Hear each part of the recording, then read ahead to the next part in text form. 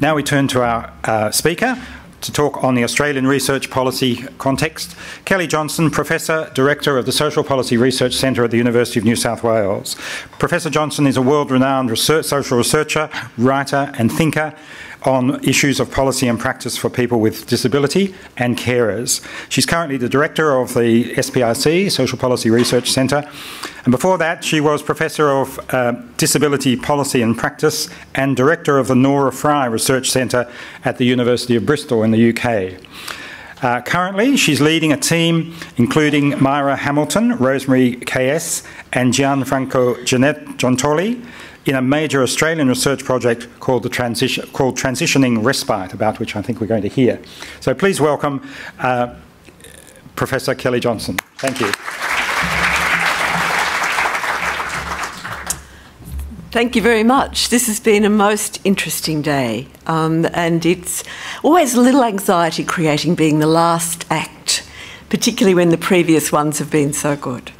So, what I'm going to do today is to talk with you about some work that we're doing actually with National Respite um, around trying to work our way through the transition process that you're all going through and that's been the major topic of conversation today. But I'll also draw on some of the experiences I had in the UK. As you can tell from my accent, I'm not English, I'm Australian, honest. I come from Melbourne originally, so I'm still finding my way around Sydney. Um, but I have had quite a lot of experience in working overseas, particularly with people with disabilities. I think today has thrown up for me a lot of sort of tensions that feel like they're under the surface a bit. Some of them kind of bubble right to the top, others sort of sit underneath. So what I'm going to do is sort of raise those as I as I go along. I want to leave some time for questions, and I've also set up with Chris very kindly an opportunity for people to just come and talk afterwards because I'm very keen for people to give some input into the work that we're doing. Okay, so. Whoops. So, the aims of the paper. Well, to consider the current situation of change and transition that everyone's going through and to outline changes in Australian policy that affect respite care for people with disabilities, for older people and their carers. And to describe what National Respite is doing to support this transition process. To describe what we can learn from overseas experience and to outline a framework for understanding changes to respite care. And I'll talk more about that as I go on. So, change and transition. We've been talking about it all day. They're not the same thing. And I think one of the things that I've become very aware of is that currently there are changes in policy in relation to older people and people with disabilities. Um, and change itself can be difficult. So the changes in policy sit there and they can lead to a feeling of loss of power. We no longer know what we're doing, which seems to be a view from some people um, that we've got to take on new learning and that there's a degree of uncertainty in the whole process. Now, the policy changes that have happened have happened, you're part of them, but you're now experiencing what it means in practice, which is really the transition stage. And as you can see from my cartoon, you might agree with the policies, and most people seem to, but the transition itself can be very difficult. So, looking at transition, it means ending or changing what was quite drastically. There's sort of a neutral time, which feels a bit like everyone's in at the moment, where you're sort of struggling with new creative options that you're developing, but also feeling slightly uncertain about what on earth's going on and which way you should go. And then there are new beginnings, which are also, I think, starting to happen. And I've started off with this slide because it seems to me that we really need to come to some sort of understanding of the process that we're all going through at the moment. So, I want to set a little bit of context. I've worked with people with disabilities, a lot with people with intellectual disability, for about 20 years. And I've watched huge changes happen. And when Bruce said today that this is the Snowy Mountain scheme, of um, change, I could really identify with that because it does feel like it's a culmination in moving from people being treated very much as objects or as patients who needed a lot of care in institutions, and I was part of that movement of people into the community, to citizens with rights. And I think that's it's important to keep that sort of in focus. This is part of a much bigger discourse that's been going on now for about 30 years. In Australia, it feels like this has been, this recent change is an enormous one, and I think it is, but it is part of something that is bigger, and I think it's also there for people, for older people as well.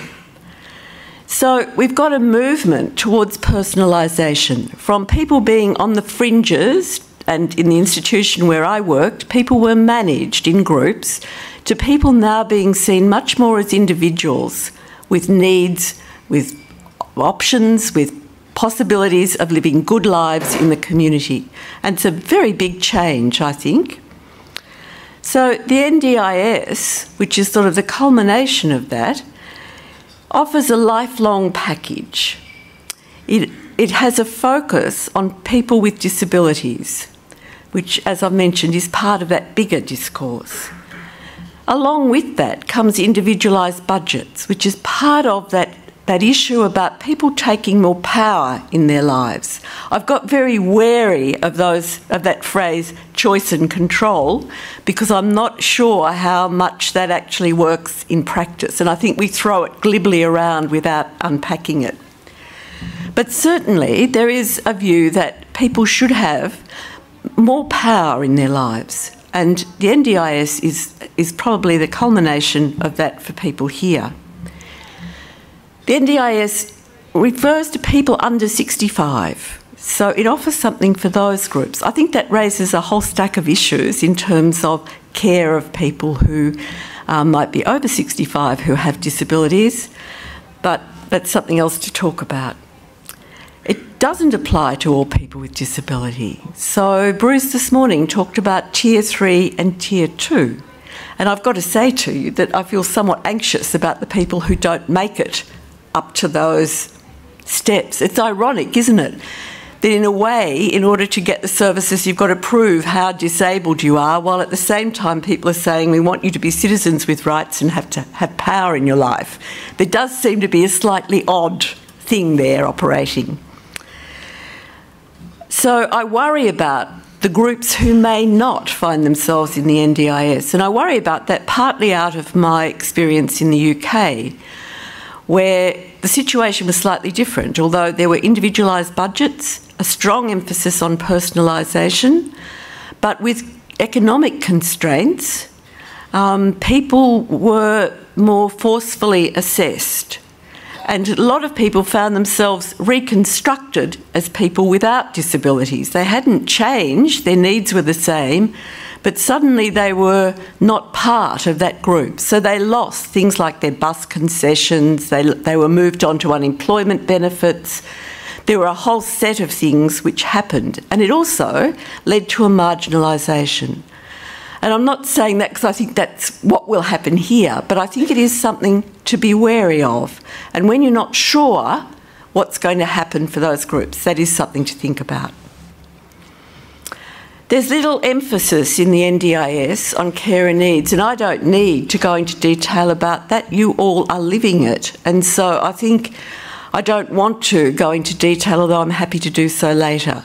But because of that focus on the individual with disabilities, it is almost inevitable that another group is going to be pushed sideways. And that too is part of a bigger discourse.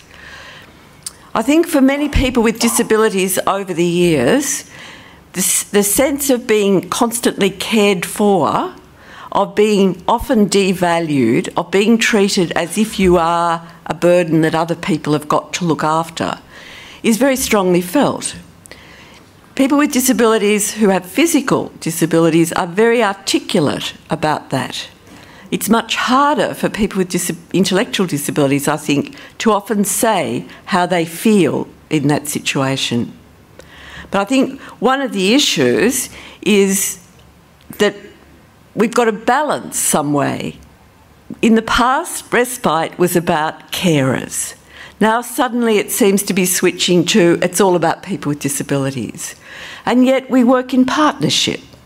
You know, people with disabilities and carers work together. We have to, their relationships are there. Um, so somehow we've got to find a balance, to keep a balance between a focus on the person with disability or the older person and the carer, and not let one go or the other. I am somewhat, I must say, sympathetic to a change in name because I do think respite care carries that history for a lot of people with disabilities, a history they want to leave behind them. I don't know. It may be, I noticed there weren't terribly many people who wanted to change in name today, but it might be worth just thinking about that. I was thinking over lunch that, you know, if I, in a, in a relationship, if my partner said to me, Well, I need respite care for a couple of days from you, I'm not quite sure how I'd actually feel about that. Being told that I need a short break by the beach might be quite a different way of putting it. Um, and I think there, there is a lot in a name and something to think about. One of the issues in Australia that is different to the UK is that there's no separate carer assessment. And I don't know what I feel about that. The research that we've been doing, the reading that we've been doing, suggests that it can become very complicated when you've got a separate carer assessment and a, an assessment for the person with disabilities or the older person. Because then you've got to try and find ways of balancing those two sets of needs one move in Canada was to look at family needs rather than to focus on the carer and the person with a disability, so that you, you're sort of looking at a family or a group as a unit. Now, I'm not sure about that, but I think there are things that we need to think about with this. Um, and I do worry if carers sort of drop off the list. I guess the changes are there for older people as well. And I think that one of the complications for everyone is that it's all happening together. So not only is there the NDIS, there is also um, the Commonwealth Home Support Program, which also has implications for respite care. Now that will provide basic support for older people and for carers. It's focused on community living and people being able to live their lives in the community rather than in nursing homes or in, in other residential care. There's a focus again on the older person's individual goals and preferences. And I think, you know, you can sort of see it's the same, it's the same philosophy that is driving both of, both of these emphases. It has Commonwealth funding and it has incorporated a lot of other programs within it, including National Respite Care. Now only carers of people over 65 will be eligible for this program. And again, there appears to be no separate assessment of carers' needs. And what I will say to you is if you feel like breaking in, please do. I sort of feel like I'm giving a lecture, and I don't really want to do that. Okay, so again, there is this focus, renewed focus on the individual or the participant or the person with disabilities or the older person and the carer is, is taking somewhat lesser place. So, to the project that we're involved in. Now, I think, I think actually, if you haven't signed up for National Respite, you probably should, and that's not just because we've got a tender with them, because I think they've, they've developed a project which they've asked us to do, which is trying to make sense of this transition process of this time of sort of creativity but also muddle, where it's hard letting go of the past and difficult to do it because of um, e economic and political entanglements, not to mention relationships, and to look at what might be new beginnings and new options for respite care. So, we are currently involved in a project with National Respite, which started in July and will go through until next year. And the aim of that project is to improve understanding of the possible impact of policy changes for four groups of stakeholders participants, carers, communities, and government. Big ask. Um, makes me shivers sometimes, but we're into it. Um, so we've been going really since July, so we're not, we're not through our investigation. You should see this as a work in progress. So there are three phases to this program or to this piece of work. One is to undertake a literature review of Australian and international policy context in, in order to understand better what transition to consumer directed care might mean for, for respite care, particularly, and to establish a framework in which we can describe better what respite care does what its goals are, what its outputs are, and what the outcomes are for people. So I'll be drawing on that literature in order to do that, and I'll talk about that in a minute. And later, which we haven't got to yet, and you might want to have some input into, is to develop some hypothetical transition scenarios. So, what might be the new beginnings? How can we think of respite care in the context of the NDIS and the Commonwealth package? What can we start to think about that's different? And floating around today, there have been so many ideas raised by people. Um, I'm hoping that you'll want to give us some input into some of the ideas that you've got. So, what can be learned? Oh, I've left out the most important part of the research. What we've been doing is talking with you with groups with a group of people who are involved in leading respite care services. And it's been extremely important to do that. And some of the things that I think some of the things that we've learned have both confirmed some of the research findings from overseas, but have also thrown up particular issues that people are confronting now. I think one of the issues that's been thrown up, one of the tensions, I've mentioned the first one there's carers and there's people with participants. Another one, I think, is you're caught up in a, an issue around um, a totally different way of funding.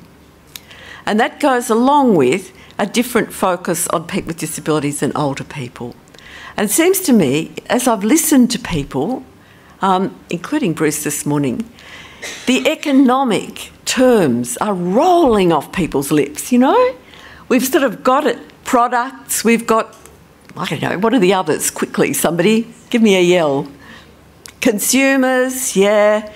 Markets, markets are everywhere. Branding, how are we going to rebrand ourselves? What kind of ways can we fit? And at a meeting yesterday with some of the people who are involved in respite care, I raised the issue that there's a tension there between what people saw themselves as doing when they got involved in respite care and what they're now being asked to do, which is a, a different way of working altogether. And again, I think we've got to have a balance there somehow between the economic drive that's sitting there really strongly, because you won't survive if you don't match it, and the, the sort of, I'm trying to think of the words, it's not a service, it's more a concern with people. The, most people, I suspect, have come into respite care or into, into working with people with disabilities or older people because they want change to happen and they want to work with people. And that somehow finding a balance between those and working out the best way forward is, I think, a tension that sits there for a lot of us. And it was certainly sitting there for someone yesterday when I said, well, you know, what about these products? And is this the sort of word that we're going to use? And someone in the group said, well, we use the words because we've got to, but we still feel underneath words to that effect. And I think that that, that kind of tension there is quite difficult to resolve. So, what we've done so far is to begin a literature search, a literature review. Um, and I think I'm not going to talk very much specifically about some of the English research, and there's quite a lot of it, because Karen Jones, who's the keynote tomorrow morning, will do that in more detail. So, services are changing. So, what can we learn? The shift to personalisation and the move in aged care services has led to changes in the way services are funded. So, in England, in some states in America, in Canada, there's been a movement in a lot of countries from block funding to individualised funding for services. It can lead to a shift in the way services are provided, and I want to talk a bit more about that. I'm just raising some general points here. So, a shift from the way respite, I think, was often seen by the people I worked with when I worked in Australia from being, i am going to, into respite, and that meant I went to a house somewhere for a few days while people had a rest, to a much more diverse, much more exciting ways of working. And some of those, I think, were, have been raised today. And it raises the question again of who benefits, participant, carer, or both. It's very interesting that a lot of the research we've looked at has got a carer's perspective to it. And I'm not sure whether that's because it's, it's not absolutely up to date um, or whether care it's been easier to do research with carers but certainly for a lot of the literature we read it was quite hard to find how participants saw respite care in a lot of the research, there's a focus on the outcomes for both the carer and for the participant. And those outcomes have been very much focused on well-being, psychological well-being, physical well-being, social, environment, and economic well-being. And I want to come back to those when I start looking at the framework that we've developed. But what are you saying about the changes? And this, this slide is a, um, a result of discussions with people who are probably in this audience, I think. Generally, people were su supportive of the philosophy that, that of personalisation and of consumer directed care. There's a feeling that it's a good idea to do it. But anxieties are there in plenty about what these mean for the people who work in this field.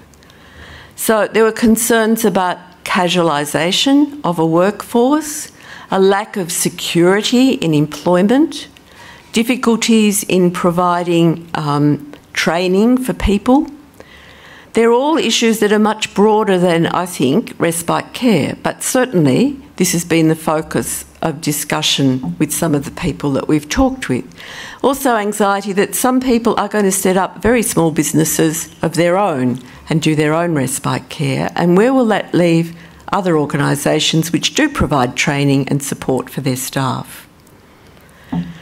There's uncertainty about the effects of this change, both on both for, well, for participants, for carers, and for the staff who work in this field and uncertainty about funding, which I think has arisen over and over today. So, what will happen for the groups of people who don't make it into Tier 3 or the upper part of Tier 2?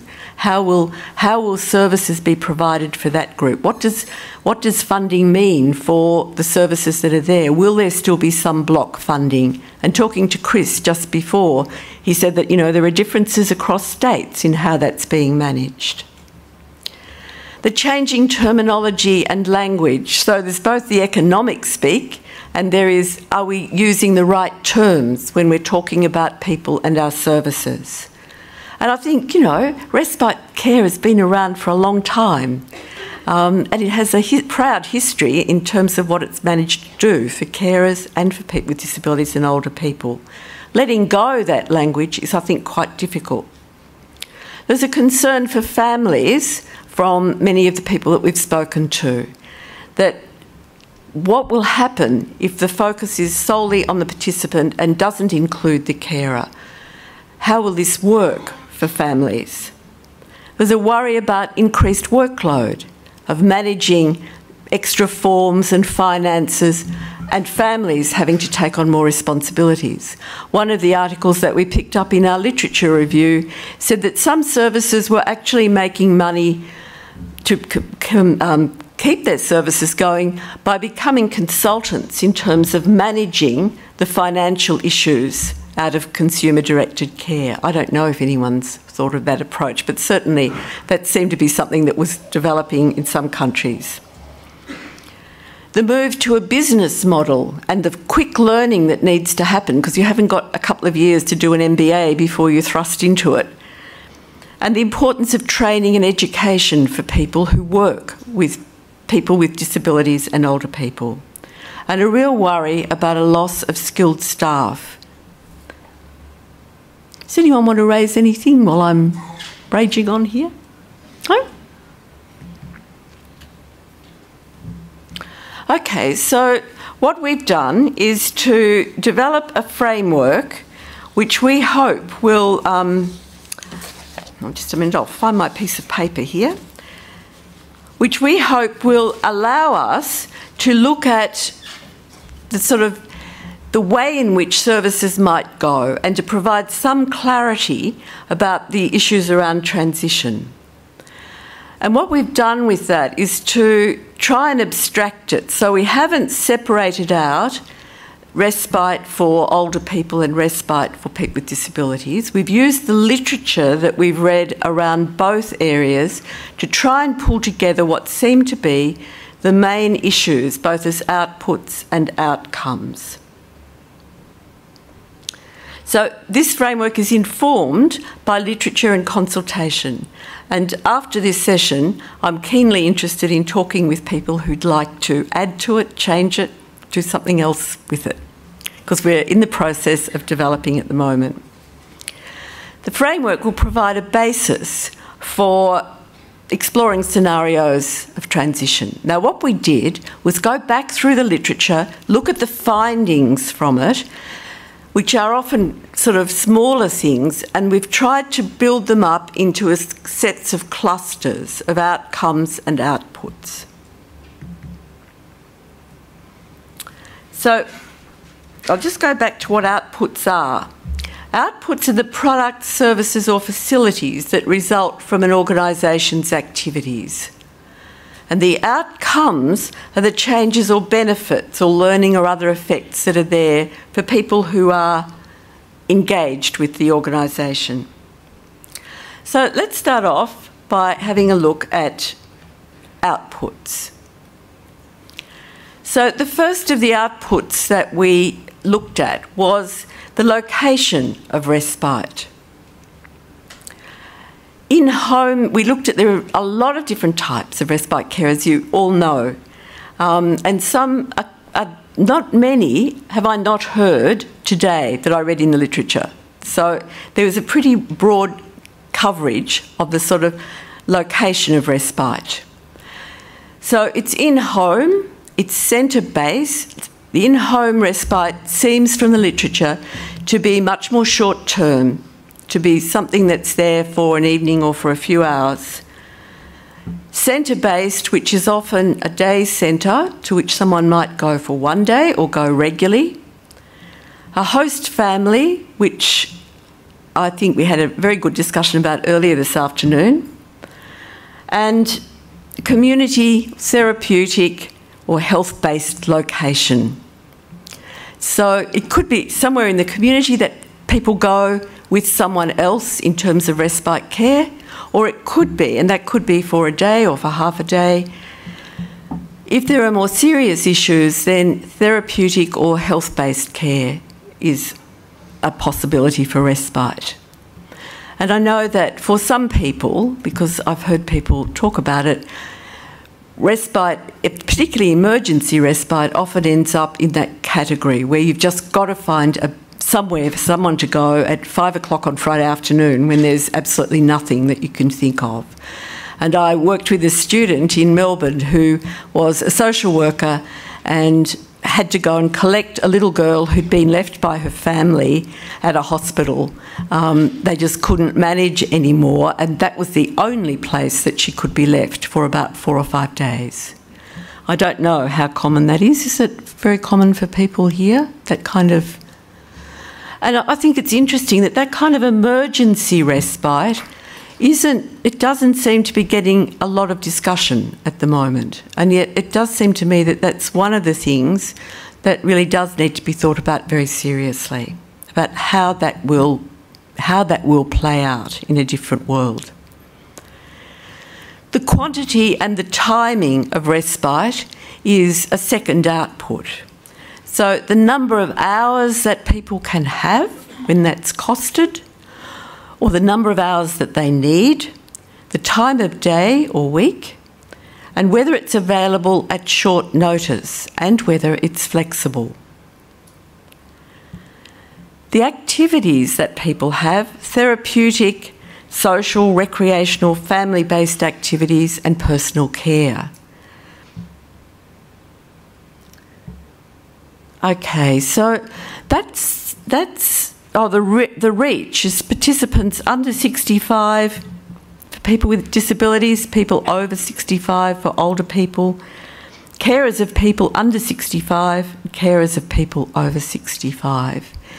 Someone this morning said to me that she was very concerned about people who might have early onset dementia who would come in under 65, but where people working with people with disabilities may not have much in the way of experience or skills in, in sort of working with that group of people. Now, I'm going to just stop and say very quickly what have we missed out of your outputs? I'll talk about outcomes in a minute.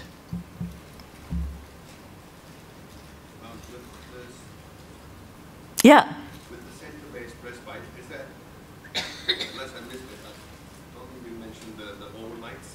Oh, yes, sorry, I should have done that. Yeah, that includes that. So it can, and it can be cottage cottage respite where you stay overnight um, or for a few days. And the centre-based one can be a day day centre. Yes, all of these are are in the literature. They're described in the literature. We haven't found any other models, but there might be some out here. Yes. Oh, I've got five minutes. Crikey. Ten. Okay.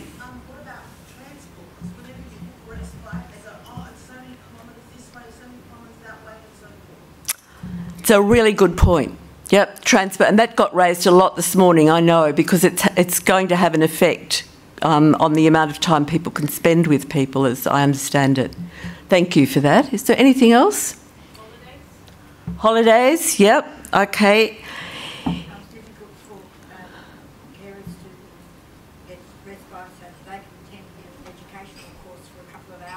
Yeah. So that would be covered, wouldn't it, in terms of if someone comes in for a short period of time and, and stays with the person? Yeah.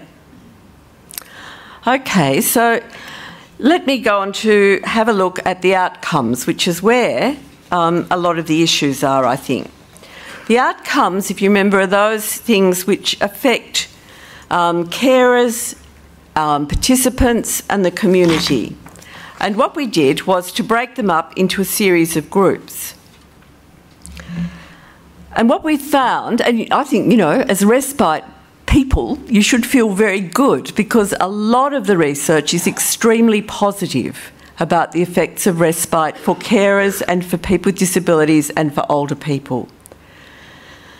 Individual health and well-being we found in um, it improved carers' emotional well-being. They saw it as a break when they could be just less stressed because of care. They might experience less anxiety about the person they're caring for. Um, that, they, that it gave them a chance to be without responsibility for a time. Improving physical activities has been shown in the literature to be there for both carers and for participants. Um, an opportunity to get out and about, to go for walks, to meet other people as you do that. Opportunities for some self care. For people, for participants, there were issues about feeling more relaxed, having a break from the person who is your carer, because sometimes it's a very intense relationship, was also a very positive thing for people. Opportunities too for making connections. There were really lovely stories told earlier today about young people with disabilities who had created links with families, other families. That was for them, and it was also an opportunity for carers to have relationships with other people, to have an opportunity to build friendships, to create new ones. So it offers also a chance for enhanced freedom or choice. So you can actually just decide what it is that you want to do. And I would think if the respite care is focused on the participant, there would be opportunities for them to have that as well as the carer. For people with um, disabilities and older people, some of the literature suggests that um, they see respite care as a movement to more independence, an opportunity to build relationships on their own terms. So, individual health and well-being is well documented in the literature for both carers and participants, though less so for participants, because there hasn't been as much research done. Social and economic participation included creating opportunities for participation in recreational activities, and that was certainly there for both carers and for participants. A sense of reducing social isolation that's sometimes felt by participants and also by carers was seen as very important in the research. And managing but not acquiring work. So the research that we research literature says that, as you commented, it's easier to manage an educational program that you might want to be involved in with good respite. And if you are working, it is easier to manage the work. But there is no evidence really, no significant evidence that people are able to find work in, as a result of having a sort of good respite care service. Maintaining links into the community is seen as very important, so being able to go to the pub or done shopping for both parties was seen as important. And you know, one of the interesting things is, isn't it, that you know, always we've thought about respite care as a break for the carers. It hasn't been much thought about whether the participant wants a break from the person who's caring for them. But I suspect quite a few of them do, and that's certainly shown up in the literature. Personal relationships. Respite offers a chance to strengthen family relationships and also to strengthen the relationship between carer and the person who's being cared for. Having that break allows people to come back together again with perhaps a different view of the relationship or with more energy and strength in, in developing it. It also gave carers a chance to strengthen family relationships and to have time with other members of their family. And it provided opportunities to spend time with friends.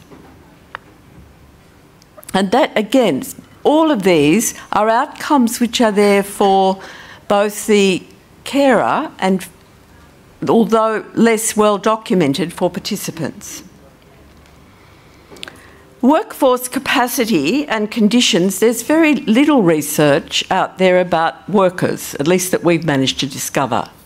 And I think that's actually an area that we should be doing some work in.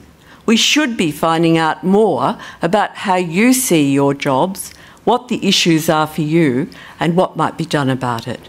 But issues around having employment, having secure employment with opportunities for training and education, may be some of the things that are valued outcomes for workers, as well as a sense of doing a job that is really needed and worthwhile. Community cap capacity and support the issues around social capital. It is important in the community that we can foster community activities and people getting out, people with disabilities and older people getting out into the community is one of the ways that we can do that. Look, I've worked with, as I said, with people for a long time, and one of the things that's always worried me is that in all our movements for people to have better lives in the community, we haven't done much that will look at how the community might change so that they can lead those better lives. And I think respite care can assist that, um, both through some of the ways that it's done, but also in people being more part outside of a family relationship. Okay, and I didn't think of um, volunteers in terms of workforce, but that was made very strongly today.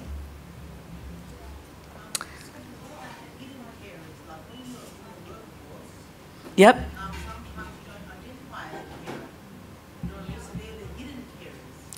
Yep. Yeah, no, that's that's a good point. That's a good point, I think. And I think, you know, there are also hidden groups of participants too, um, which I'm sure some of you have got some ideas about. But, you know, I, I, mean, I worked with people in England who identified as coming from Chinese communities and were living in England. And their take up of services, respite services, or any other, was very low compared to other groups in the community. And I think that's probably true in Australia as well.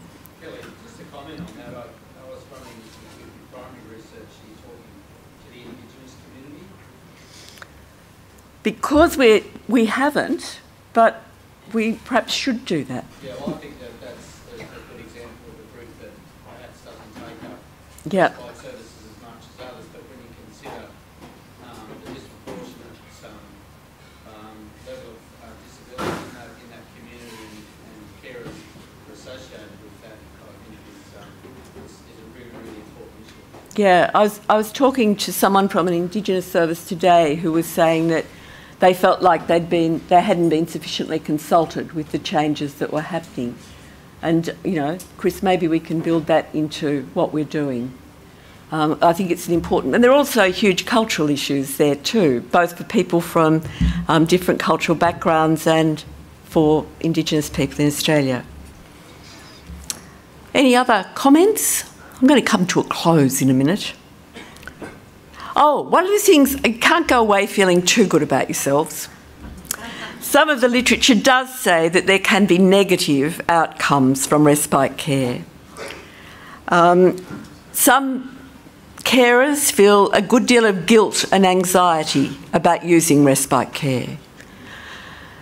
It's probably in a micro fashion, but when I was doing work on deinstitutionalisation, families had carried guilt for 20 years about the fact that their son or daughter had had to go to an institution.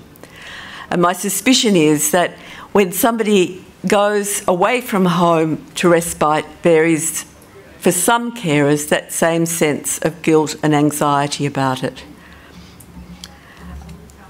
Sorry? Yeah. Yeah, I think I think it's it was also interesting though because those families were also saying we couldn't do anything else. We needed space and time we couldn't manage any longer. So, you know, it's sort of it's a very ambivalent um, response, I think, and very very difficult for people, particularly if the institution closes and they're suddenly being told they did the wrong thing. Um, I think for participants, the research suggests that sometimes and there's not much on this, and there should be. Sometimes participants feel alone, uncertain, I was thinking particularly of my mum who had Alzheimer's, dreadfully uncertain and frightened when she was away from her own place. So, moving people out of home can be quite traumatic for them. The research suggests that when this is really, really a big, when these issues are really big for carers and for participants, it may relate more to the way in which it's managed and the kind of respite care that's being offered.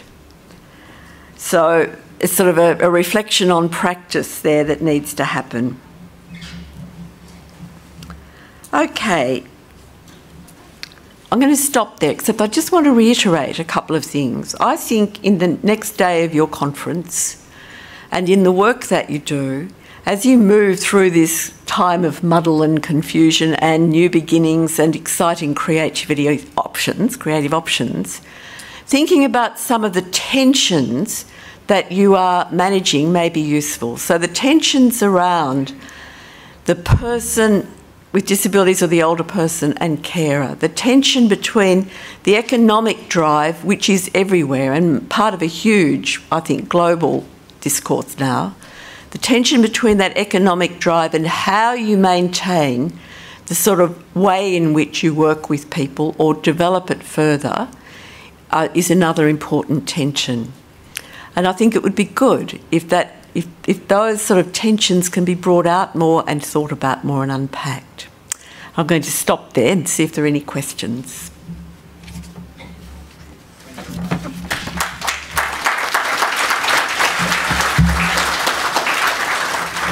Now we do have to move out of this room by 5:30 so it can be set up for our fabulous dinner tonight.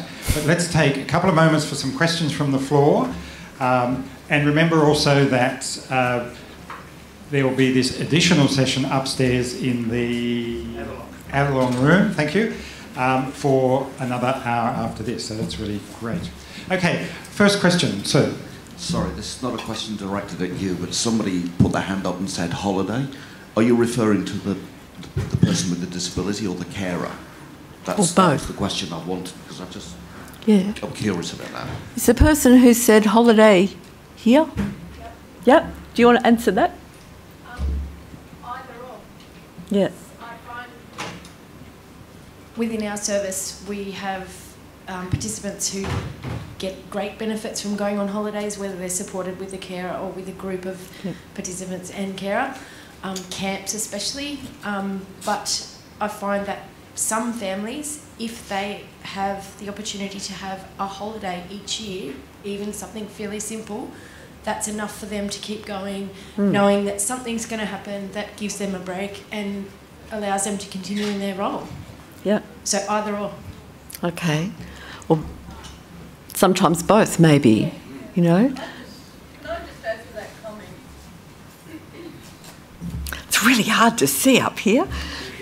Yes.